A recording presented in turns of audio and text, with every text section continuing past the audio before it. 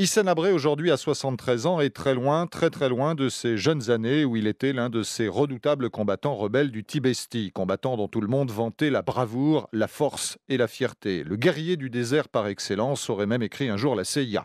Le nom d'Hissène Abré, déjà connu en France dans ces années 70, où avec son allié devenu son ennemi, Goukouni Wedey, ils avaient retenu en otage l'ethnologue française Françoise Claustre. De cette captivité, Raymond Depardon avait fait un film. Tous ceux qui l'ont rencontré à l'époque décrivent un homme maîtrisant parfaitement le français, élégant, cultivé, voire raffiné, y compris dans son anticolonialisme anti-français. Hissène Abré est né dans une famille de bergers du Tibesti en 1942 dans le nord du Tchad. L'histoire dit qu'un instituteur aurait repéré son intelligence.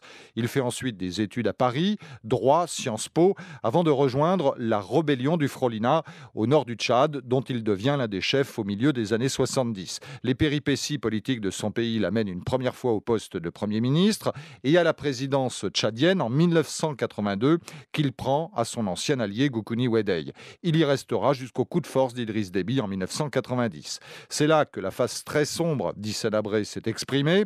Il a été servi par les événements, crise quasi permanente avec son voisin libyen, hostilité des populations du Sud et divers complots ou rébellions dans un pays instable depuis son indépendance. Une fois au pouvoir, Hissène Abré n'a plus grand-chose du guerrier romantique.